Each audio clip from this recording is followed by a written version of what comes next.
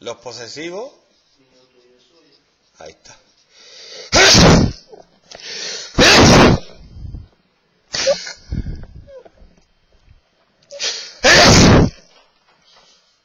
Y se pueden organizar una tabla dependiendo si tienen un poseedor o varios, así singular o plural, y si son de la primera persona, la segunda persona, la tercera persona o neutro.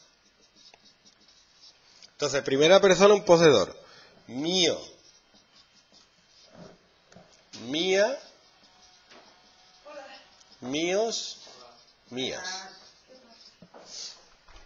No confundí con el determinante. Yo puedo decir, mi coche es ese. O ese coche es mío. Ahí es mío, mío sería el pronombre. Varios. Nuestro coche. Nuestro amor.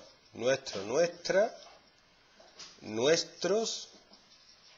Nuestras. Segunda. Tuyo. Tuya. Tuyos. Tuyas.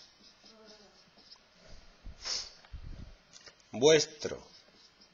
Ya me he hartado de escribir. Vuestra, vuestros, vuestras. Tercera persona. Suyo, de él.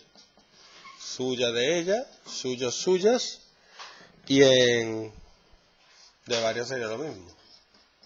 Suyo de ellos o suya de ellas. Y el neutro es más chulo. Esto es lo mío. Si te gusta, si no te gusta, te va por ahí. Esto es lo mío, lo tuyo, lo suyo. Y lo nuestro, lo vuestro. Y lo suyo.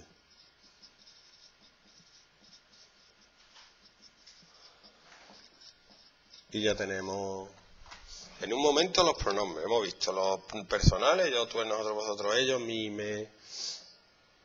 Hemos visto los demostrativos, este, aquel, ese y los posesivos.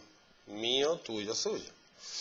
Yo me quedo con eso. Ya con eso los demás sé que son. Si te van a pedir que distinga los tipos de palabras que hay. Cuando veas un pronombre, digas, hostia, esto es un pronombre.